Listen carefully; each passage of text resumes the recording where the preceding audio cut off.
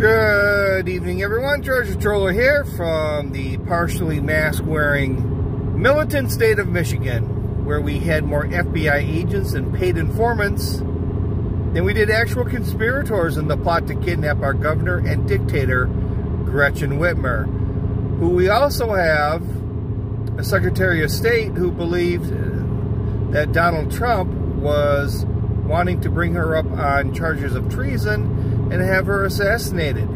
This, she said, she heard from a friend who heard from a friend who heard from another. So as you can see in the uh, little thumbnail, um, gas in Michigan is now $5 a gallon or, or $4.99.9. I guess that that tenth makes it uh, easier to swallow. So the, the pain is uh, the pocketbook is just beginning to creep in more and more. And I wonder how much of it is going to affect the leaders of the state. Before, in 16, 2016, no one thought Donald Trump was going to win the election. And then after he won, you if you were a Trump supporter, you had to keep kind of quiet about your feelings. It wasn't it was never a good idea to openly uh, state your liking or preference for Donald Trump.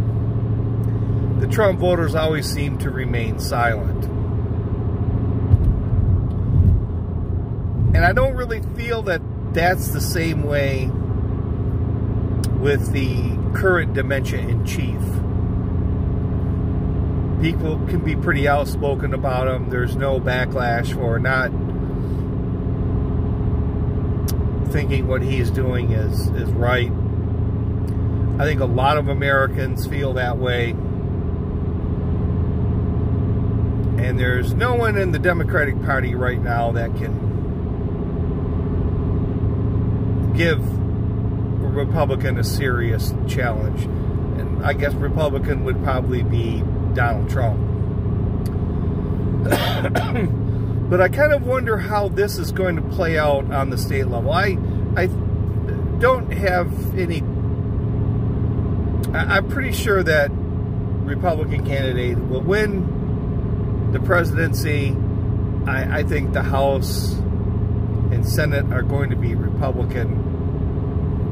But I'm wondering on the state level, uh, I, I, don't seem to hear, I, I guess I wonder first, how much of this kind of stuff can you really blame on your governor? Can you blame the high gas prices on your governor? The baby food shortage?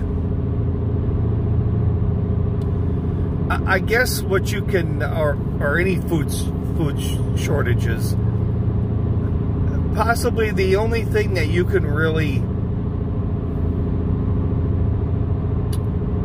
hold your governor accountable for are lockdowns, in a sense. Some were much more strict than others. But how is that going to play out down the road? Now, I think Michigan's governor election could be this November. But there's not really a I don't seem to feel like there's this big push to get Whitmer, the current uh, governor and dictator, out of office. I know that Donald Trump has given his support to one of the, uh, a Matt DePerno, who is a running for Attorney General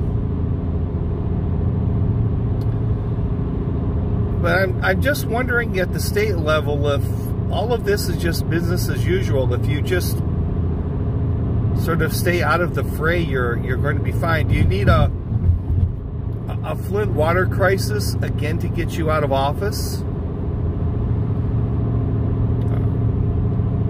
Do you just want, like, for me, do you just want Whitmer out of office, period? There's no real reason for it?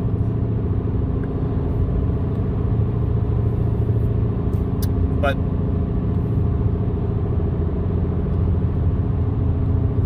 I don't know. I'm just kind of confusing today.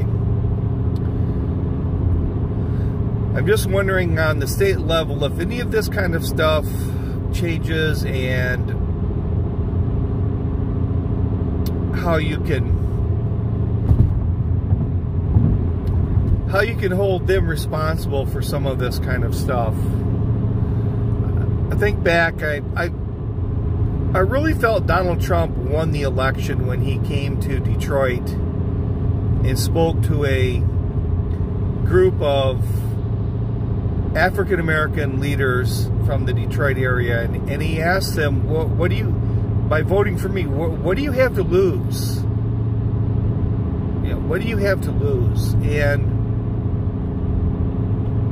I'm wondering if something along those lines like what do you what do you what do you gain by keeping her in you know Whitmer in office? What do you gain by it?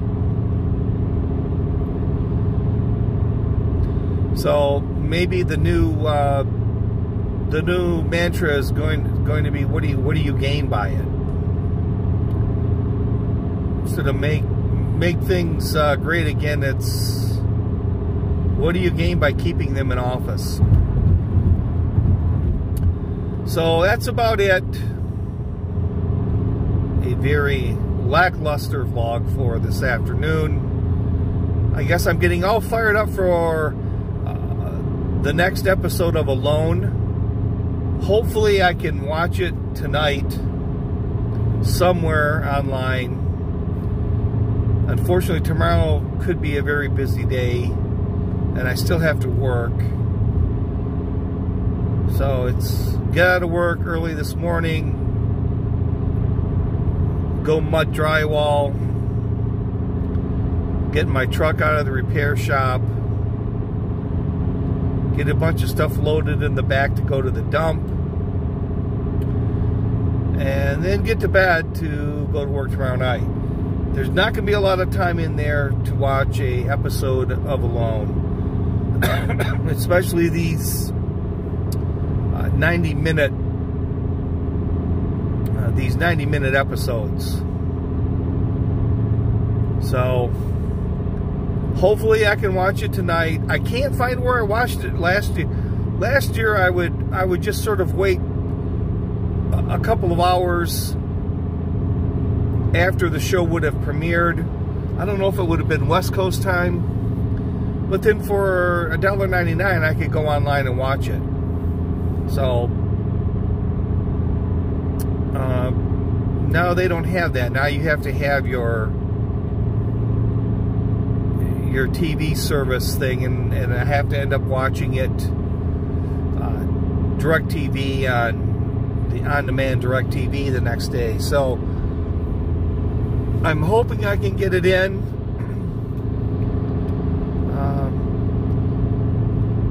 by watching it sometime tonight. I don't know. Oh, that treasure troller saying aloha and good day.